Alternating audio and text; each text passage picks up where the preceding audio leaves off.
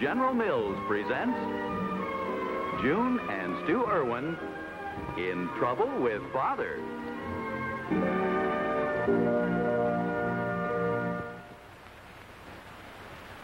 Hello, I'm Betty Crocker. I guess every family has its own kind of problems, but certainly baking a cake doesn't have to be one of them. You don't have to be an expert when you use my cake mix. Take my newest flavor, honey spice. The men really go for it, and so will your bridge club. A perfect cake. You be the judge, or write General Mills, Minneapolis, Minnesota, and get your money back. Anybody can make a cake like that, even your youngsters. Just add water and two of your own fresh eggs. Those fresh eggs keep it moist and tender to the last crumb. Not that you'll ever have any crumbs left over. A Betty Crocker cake mix cake is high, light, better tasting.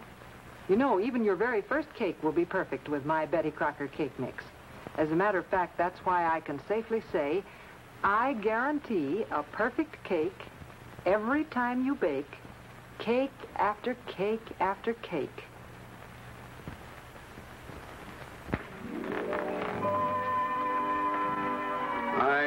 Hope that a meeting of the family council will not inconvenience you too much. Well, as a matter of fact, it is Saturday morning, and unless it's terribly important. I think it is. Golly, what's somebody do now? The meeting will come to order. As Vice President in charge of the Treasury, it is my extreme pleasure to announce that the Erwin Exchequer shows a surplus of $424.84. Why, Stu! Daddy, that's simply fabulous. What does it mean in plain English? Why, it means we're practically plutocrats. Now I know less than I did before. What Daddy means is that the Treasurer's report shows that we have almost $425 in cash. Although I must say I don't see how we did it. Good management, my dear. Why, thank you, darling. Uh, You're welcome. Now, if we can continue with the meeting, I would like to offer for consideration the advisability of using this money on a new car. A new car? Golly, that would be super. Could we afford it? Eh, If we can get a reasonable turn-in allowance on our old one. Let's get a convertible. A yellow one. With red leather seats and all the buttons so everything rolls up and down. And great big fog lights and... Girls, girls. The kind you're talking about, I couldn't even buy the fog lights. June, the chair would like an expression, please. Well, if you think it's the thing to do. Well, the purpose of these questions is for an exchange of ideas. Now, wouldn't it be a false economy to spend more money on repairs on the old car? I suppose so. It's just that, well, I had hoped we could do some redecorating this year.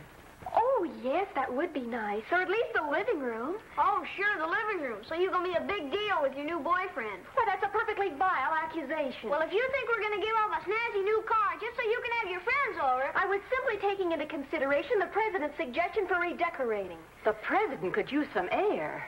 The meeting will please come to order if that's possible. Now, June, if you'll be patient, after I've shopped around on trade-ins, maybe we'll still be able to reach a compromise about furniture. Oh, it's all right. I just thought it might be fun to do the room over in Victorian, perhaps.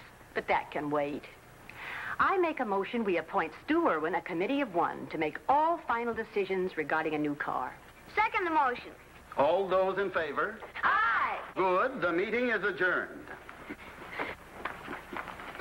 Joyce, what is this about a new boyfriend? Oh, he isn't exactly a boyfriend. He's sure not a girlfriend. Oh, honestly, Father, that child will force me into an early marriage just to get away from her. Anyway, his name is Stanley, and I'm sure you'll like him better than Rodney. That will take practically no effort. Well, Joyce, I want to tell you one thing. If this Stanley thinks he's going to sit around our living room all evening with his arm around you, smooching, Oh, Father, that's disgusting. Honestly, the things you pick up from Willie. I did not learn about smooching from Willie. I mean, uh, I know. Well, don't worry about the boys and their smooching. I didn't learn judo at summer camp for nothing, you know. See you later.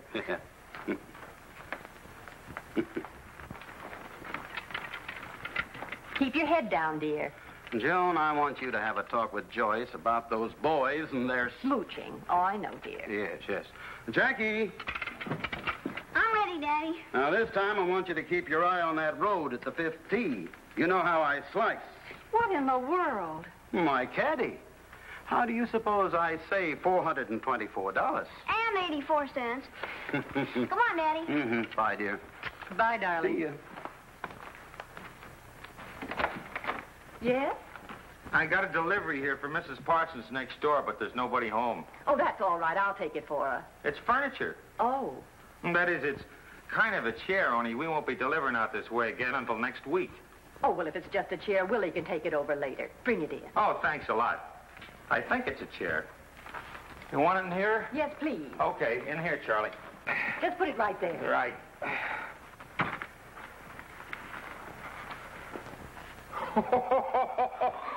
hey, Charlie, isn't that the dizziest looking thing you ever seen?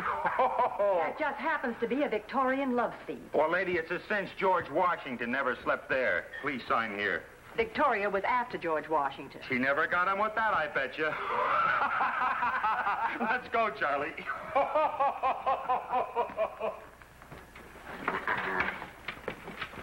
You played a good game, Daddy. Yes, 81 isn't bad for me.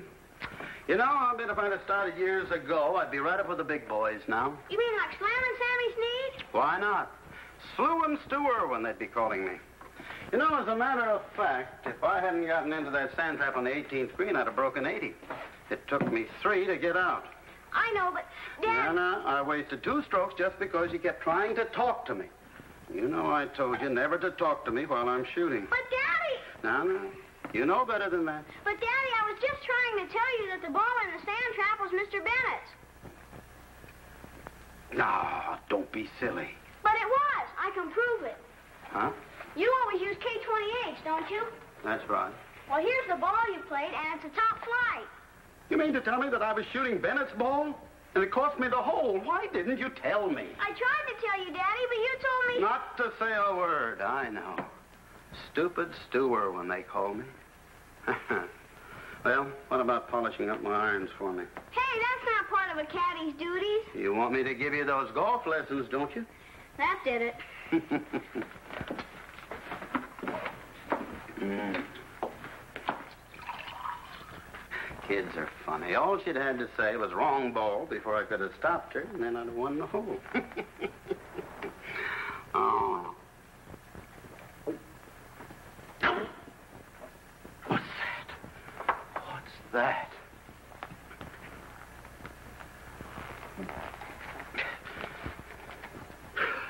June!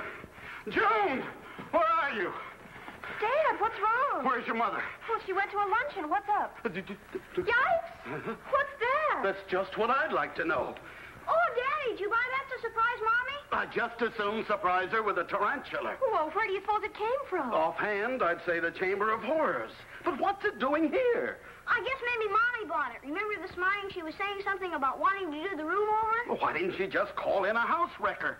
Surely she didn't buy this thing. Uh, well, she did mention something about Victorian. Oh. I think this is early Victorian. Well, if it is, I'll take Hurley Sears Roebuck. I like it. Well, you know, this makes me very upset. I never meant to make her feel that we'd have to resort to second-hand furniture. I like it. Especially something like this. I like it. Oh, stop saying that. You sound like Jerry Lewis. Yes, well, I'll take care of this quickly. Jackie, you get me the classified telephone directory and the phone. What are you going to do, Dad? I'm going to unload that thing on the first second-hand dealer who'll take it away. But maybe Mommy will get mad. After all, she bought it. I'm not going to have this house cluttered up with a lot of second-hand, worm-eaten, broken-down antiques.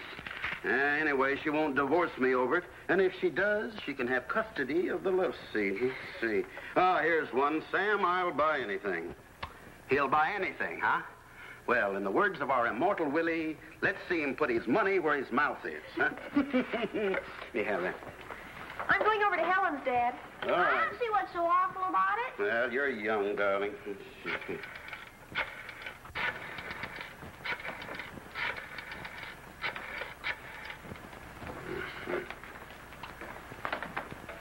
Hello, Sam, I'll buy anything. This is Stu Erwin. Could you come over to my house and pick up a piece of uh, furniture? 413 Midvale. Well, that's good. Hurry it up, will you? well, what do you think of it, Willie? I don't rightfully know. It looks kind of unfriendly. What is it, Mr. Irving? That, Willie, is an old-fashioned love seat. Oh, love seat. Mm-hmm. A fella had to have mighty long arms in those days, huh? yeah. Now let's see how they worked it. Say I'm the boy. I'll sit here. Huh? you be the girl, Willie. You sit there. Oh, yes.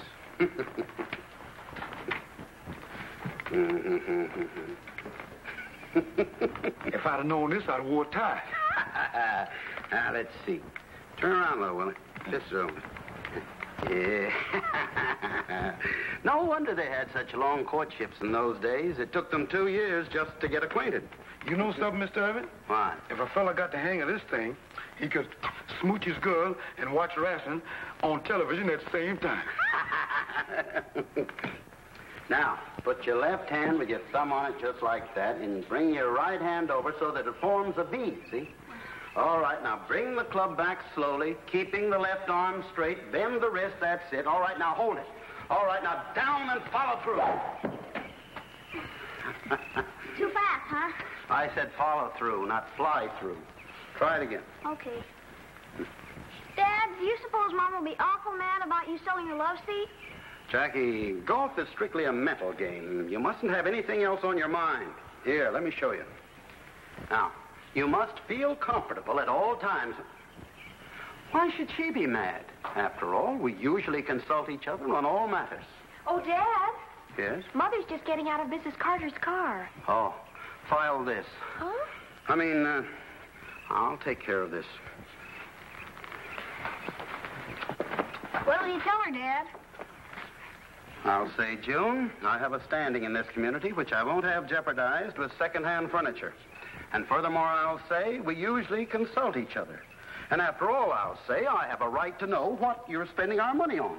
Of course, she'll be upset. I'll say. She'll probably cry, and then she won't want to eat any dinner. I'm just not hungry, dear, she'll say. Then I'll get mad and holler. And then, of course, she won't want to go to the movies tonight. Fine thing. The only night this week I have a chance for some relaxation. Well. All right, don't go to the movies. See if I care. Stu, what are you saying? Uh, huh? Uh, well, I, I, I don't remember. I. Was it very hot on the golf course, dear? Oh, yes. Terribly, terribly. Uh, June, come into the living room.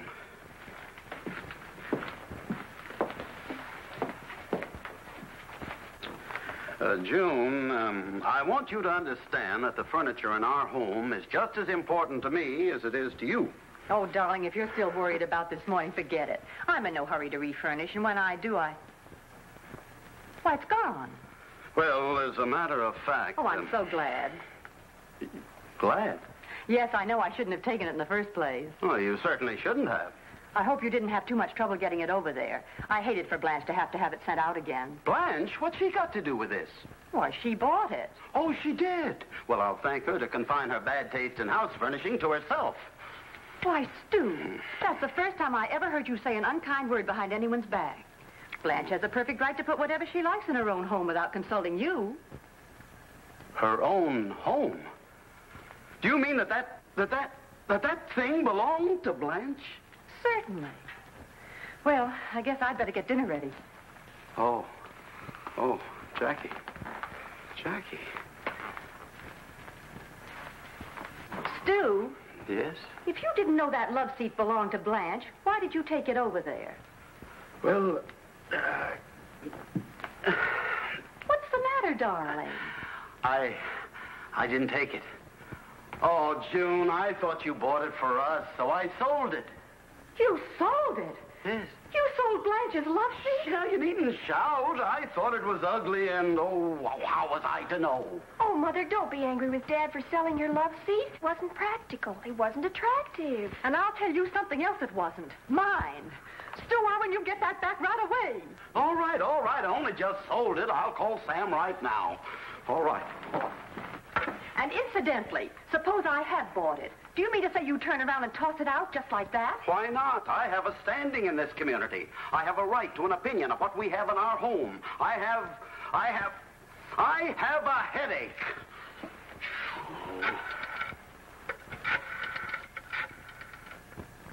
I'm sorry, Mr. Erwin, but like I told you, I already sold the love seat to the Marvin auction rooms. You know I ain't got much call for such antiques like that around here, and besides...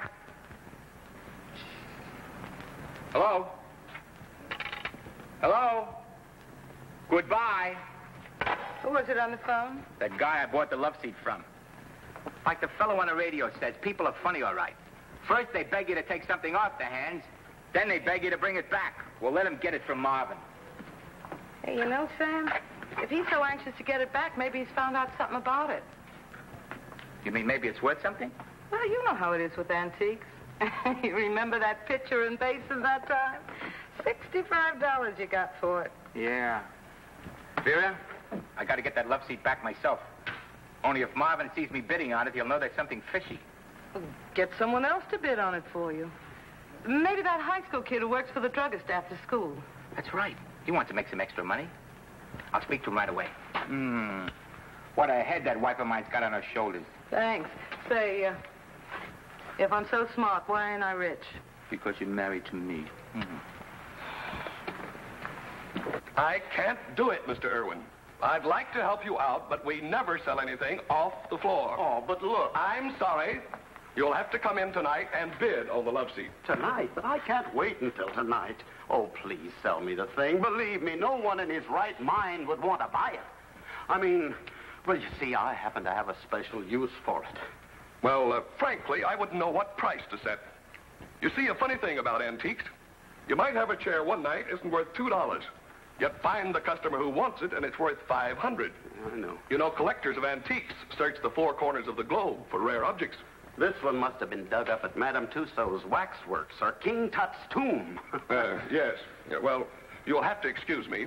Got to get things set up for tonight. The auction starts at 8 o'clock. I tell you what. What? I'll do my best to put the love seat up for bidding early in the evening. Thanks. I hate you. We'll return to the Erwins in just a moment. Go back, Bobby is a boy of nine. He can really hit that line. He's a star because he knows he's got go power from Cheerios. He's got go power. There he goes. He's feeling his Cheerios. Cheerios. Cheerios. Yes, Cheerios, the cereal that's shaped like a little letter O. No other cereal is like Cheerios, the only ready-to-eat cereal with this wonderful toasted oat flavor. A breakfast of Cheerios with milk, fruit, and buttered toast is all you need to give you go power. That's because Cheerios is made from energy-packed oats, made to give you the vitamins and minerals you need for healthy nerves, good red blood, strong teeth and bones. So give the whole family go power from Cheerios, the oat cereal that needs no cooking then you'll hear people say, He's feeling his Cheerios. And now, back to the Erwins.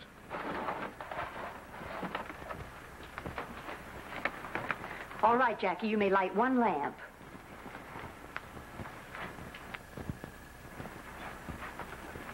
There goes the telephone again. Joyce? Oh, Mother, please let me answer it. Maybe it's Stanley. Or maybe it's Blanche Parsons to ask about her love seat. And what am I supposed to tell her? That your father sold it? Gosh, Dad could be arrested for selling something that didn't belong to him. Right now, I consider that an idea to conjure with. But what if it's Stanley to tell me about our date tonight? Well, whoever it was, the phone has stopped ringing. Oh, that's jazzy. Fifteen is bid. Do I hear twenty? Do I hear twenty? Twenty. Twenty is bid. Do I hear more? Twenty-two. Twenty-two. Let's hear more. 23. 24. Uh, 24. 24. Do I hear more? 24 is bid. 24. Going. Going. Sold. The lady in the red hat. And now we have something that no home should be without. A genuine old-fashioned mustache cup. It is made of genuine bone china. Now, uh, what have I bid? Two dollars. Two dollars is bid. Will anyone make it three? Willie, Willie. Two dollars is bid. Uh, who'll make it three? Sold to the gentleman in the bow tie. Right this way, sir. Step right up and I'll give it to you. You gonna give me what? The mustache cup you just bought. You raised your hand, didn't you? No, sir. And you got a bargain, too. And that'll be three dollars. Three dollars?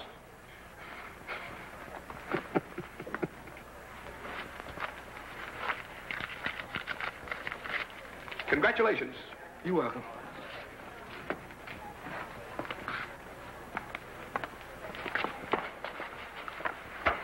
What have I got myself into now, Mr. Erwin? How come I to help you with the love seat? Willie, never raise your hand at an auction sale. But what am I going to do with a mustache cup? I don't even have a mustache, and no money either. It's a great spot for old razor blades. And here we have a genuine old soup tureen, imported from England. What am I bid? Two dollars. Do I hear more? Two dollars is bid. Who'll bid three?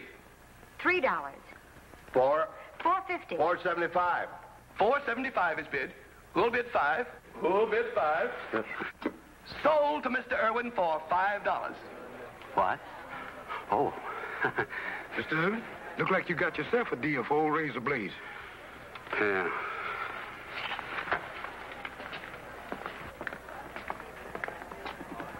You keep bidding until I tell you to stop. Yeah, but I sure hope it don't take long. I gotta get out of here.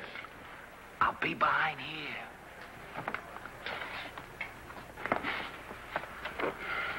And now we have this genuine old Victorian love seat. And in good condition. Now, let's hear some bids. Five dollars. Five dollars. I can't start into bidding at that figure. Let's hear something better. Uh, ten dollars. That's better. Ten dollars is bid. Do I hear more? Eleven dollars. Eleven. Eleven. Uh, do I hear twelve? Twelve dollars. Twelve fifty. Twelve fifty. Twelve fifty. Uh, thirteen fifty. Thirteen fifty. Thirteen fifty. Do I hear fifteen? What would a kid want with a thing like that? Thirteen fifty. Going. Going. Uh, Fifteen dollars. Sixteen. Twenty dollars. Twenty is bid. Do I hear more? Twenty. Ah, the heck with it. It's too high for me. Come on. Twenty dollars. Twenty dollars. Going. Going. Gone. Sold to Mr. Erwin for twenty dollars. Thanks. Twenty dollars for something I sold for two. Come on, Willie, let's get out of here.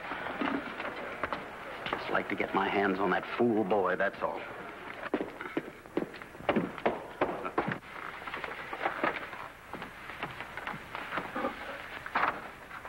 He's here.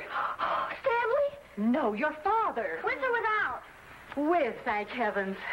I'll open the door. You turn the lights on.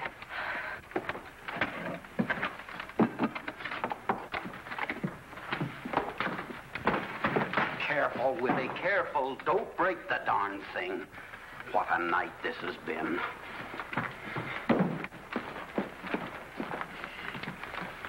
There. The Parsons can get it over to their house themselves. Well, thank you, Willie. You're welcome, sir. Oh, Mr. Erwin. Yes? You want me to bring the soup tureen in? No. No, you run along, Willie. You've been very helpful. Thank you.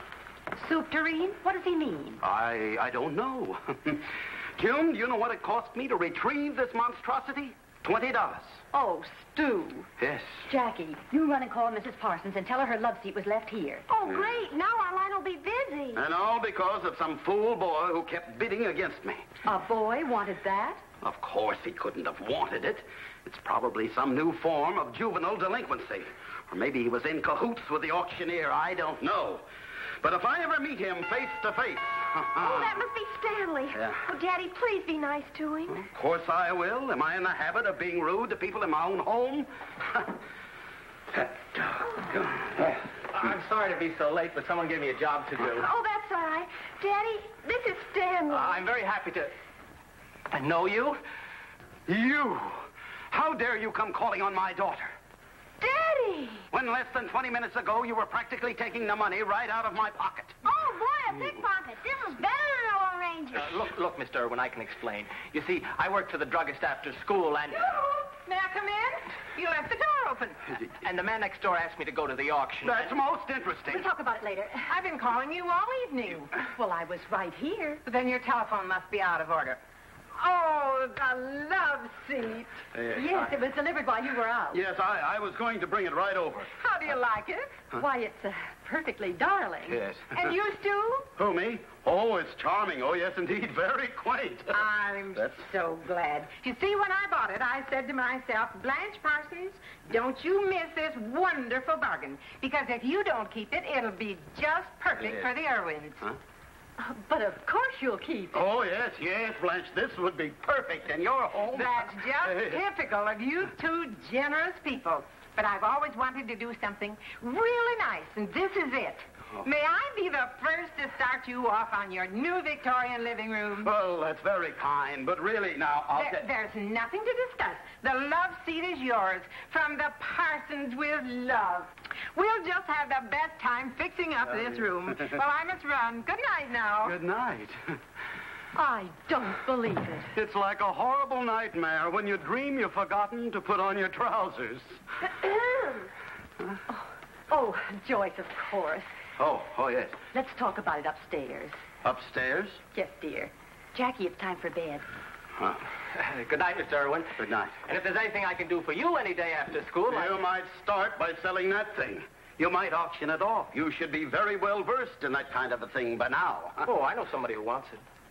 You do? Oh, yeah. He buys anything. He wants it all right. He does? Yeah, his name is Sam. Sam. Oh, yes, Sam.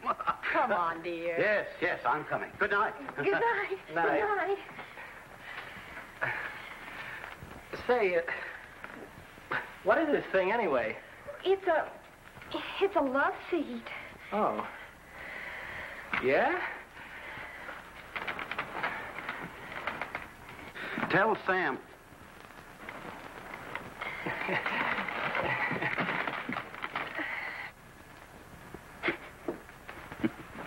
Stu. Look.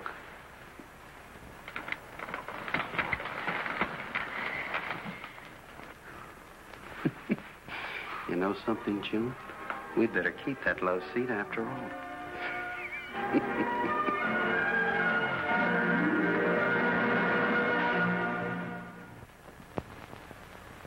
Daddy! Gee, Mom was counting on that jello cake for Johnny's scout meeting tomorrow. Okay, Daddy. It's so easy to make a cake with Betty Crocker cake mix. I'll make her another one. White cake, devil's food, yellow cake. It's a good thing her mom's modern. I'm Betty Crocker. With my yellow cake mix, all you do is add water and a couple of fresh eggs. The other ingredients are in the package. Same fine things you'd use right in your own home. You'll get a perfect cake just like this, or write General Mills, Minneapolis, Minnesota, and they'll send your money back. A high cake, a light cake, a better tasting cake. And don't think it isn't. That's why Betty Crocker herself says. I guarantee a perfect cake every time you bake, cake after cake after cake. That's right. You do get a perfect cake with Betty Crocker cake mix. Cut Betty Crocker's honey spice cake into squares. Then pour on a quick serve sauce made with any instant pudding, vanilla or butterscotch. Garnish with fresh, frozen, or canned fruit. Or try an easy topping of butter, honey, cream, and coconut. Spread on your warm cake and broil until brown. Looks perfect, tastes perfect.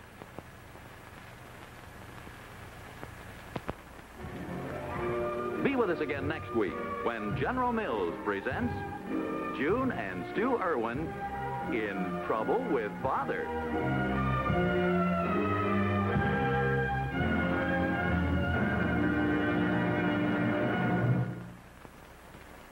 He's got go power. There he goes. He's feeling his Cheerios. Cheerios.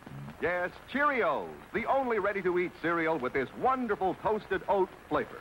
Cheerios is made from energy-packed oats, made to give you vitamins and minerals you need for healthy nerves, good red blood, sound teeth and bones. Get your go power from a Cheerios breakfast tomorrow. He's feeling his Cheerios.